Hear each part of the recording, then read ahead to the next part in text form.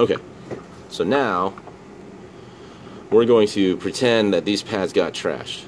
Um, by pad, I mean that this exposed piece right here, that is what the uh, the the part solders to, right? So this part that's silver right here that has solder presently on it, we'll pretend that got ripped off because that happens a lot.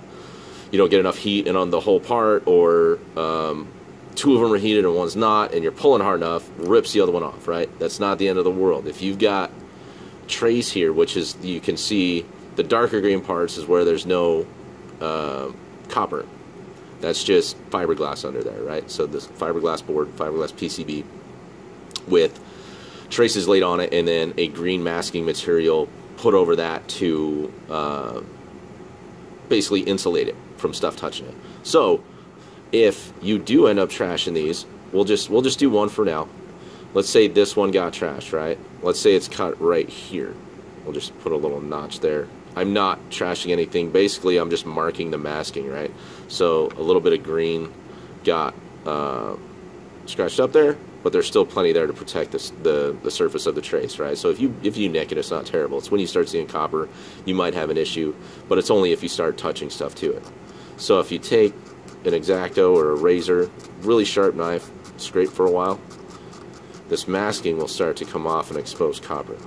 So what we're doing here is we're making it so that we can make another connection. If, if our component isn't long enough, say like these are through hole, right? So the legs come through. Usually you solder them and snip them to length. So if this is a really bad day for you, and say you tore the, the, the pad and a little bit of the trace off, and putting the component back in doesn't give you really enough room to work, and you need to make it longer, uh, you can do that. You can say, you know, move it back a bit. Uh, you know, say our only component only comes to here, we can make sure that this flows solder, and then use a little chunk of jumper wire if needed. So, best, you know, better case scenario, you've got a long enough component. Let me just grab a like a resistor here. I'll show you what I'm talking about. So this is going to be your normal through-hole resistor. They come with long leads on them. So something like this, pretty common part. Uh, a lot, very common on the cheaper boards, stuff like this. These are all through-hole components. So as you can see, they're all over this board. It's an older board, not a high dollar item, not a big deal. No need for, I mean, you save money going with through-hole. It's cheaper. So let's say we were gonna, you know, put this in right sorry, working through my camera again, right through here.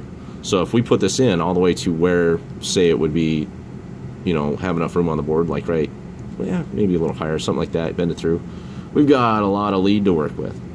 So if we put it in the hole I'm actually working on, put it here, you've got a lot of room to, say, bend this thing around, right? So if you do need to do something where you add wire, uh, make it as short as possible. Uh, the longer it is, the more chance you have of it dancing around and bumping into stuff it's not supposed to and blowing stuff up. Then your board's trashed anyway. So then you lose the whole amount of time you put in trying to fix it. So this is nice because then you can lay it down, you know, get it close. You can notch this off pretty easily with that X-Acto knife if need be also to length and then solder it down. So that's a that's a, a good way to approach it without adding wire, adding extra possibilities of a short down the line and trashing all the stuff you just worked to fix. So I'm going to keep scraping this down a little bit. I'm seeing copper. I'm just going to make sure I'm good and good and clean here. So as you can see, I'm, I'm exposing copper under the masking. Doesn't have to be this clean, but you want to make sure you got a good point for connection as far as trying to solder. So that's all done. So basically, I'm going to take my iron, I'm going to hold it on the board. I might move it back and forth a tiny bit, but I'm not I'm not putting really any pressure on this as I'm doing it. It's just kind of letting it rest and letting the heat go in it. The more pressure you use on stuff like this, the more prone it is to damage. So I'm going to tin my iron. So basically to tin your iron, you want to make it helps because it lets you know if it's hot. Like I said, I'm working through your camera, it's hard to line up. It's going to let you know it's hot and it's going to put a fresh coat of solder and expose some flux, make it easier for it to for it to flow. So now I'm going to try to get this to where I'm just kind of resting my iron on it.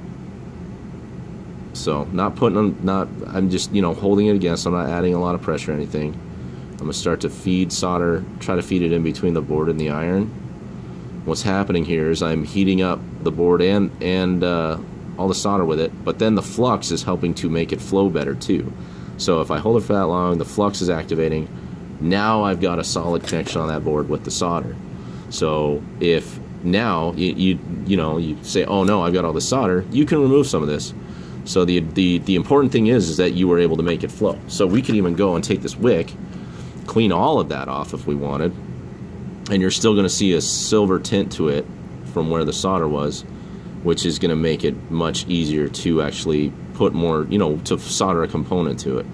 So, say we do that, clean it off. We've, you know, we've still got a nice silver pad there that's going to be very easy to put solder on, just like this. So now, we'll just we'll just do it as an example. We'll take that resistor and we'll solder it into here. So we take this, put this uh, put this resistor through that center hole we're working on, just like that, and basically kind of we'll just bend it a little bit just to simulate like oh hey it's supposed to go right there.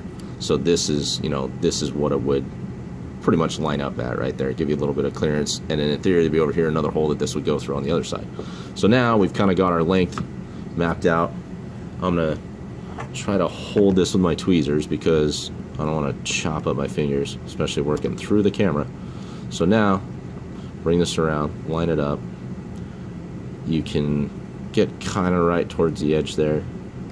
And I'm just going to kind of hold it with my X-Acto and wiggle it around with my my uh, tweezers here.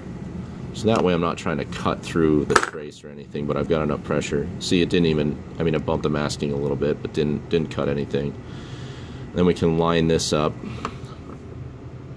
Come over and bring this here. So now if I wanted, I can uh, get it a little more stable here. So the nice thing is if I had the other side hooked in, I could easily bend that into place and have it stay more easily. So pretty close, right? So I'm going to use my tweezers. I'm going to add a little solder to my component just to, you know, make sure that's prime or primed, tinned is a better way to say that. Add a little bit there. I think I missed it. Like I said, hard to see through my camera. I apologize. So there, tinned it. So now, I've got that solder point on the board that I know is gonna gonna flow just fine. So I'm gonna come from the other side and just kind of hold it in place here with my tweezers. You don't want to try to hold this stuff with your hand. It's gonna burn the hell out of your hand. So now, having issues apparently. Oh, depth perception, where are you? Ah, oh, damn. Lost my part. Okay. Drop the sucker back in. Let it back in the hole. Maybe. Okay, get that component back in there. Line that up there. Bend that over there. So, apologize. No depth perception with the camera either, so that makes it fun especially with all these other stuffs, uh, all this other stuff sticking up. So, all right, I'll try to make that a little bit easier. I'll wrap this other end around something to stabilize it. Apologize. Getting there. All right, close enough. So, we're gonna take this. Oh, going through the hole again. All right, so Try that. Push that down there. Okay. There's our component. We've got solder on both ends. So I'm just going to try to tack it at first, right? And then I'll add more solder. Um, actually, you know? We'll just, we'll just use the solder to do this, and then I'll hold it in place after we get it going a little bit. So so here's our solder. Kind of line this up. I'm to grab the piece with the iron and hold it hold it down, get some heat into it. See it's dancing around a bit. So see that right there. So we got it to flow. It's a fair amount of solder there. I'm gonna realign it a little bit just because it's annoying me. And uh, get it to sit more flush on the board. So heat it up again, kind of hold it with the tweezers.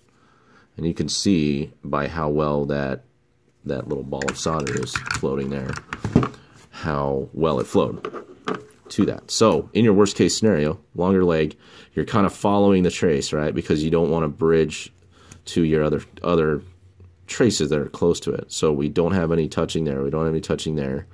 Um, and it's only touching there, and you could see it flowed really well.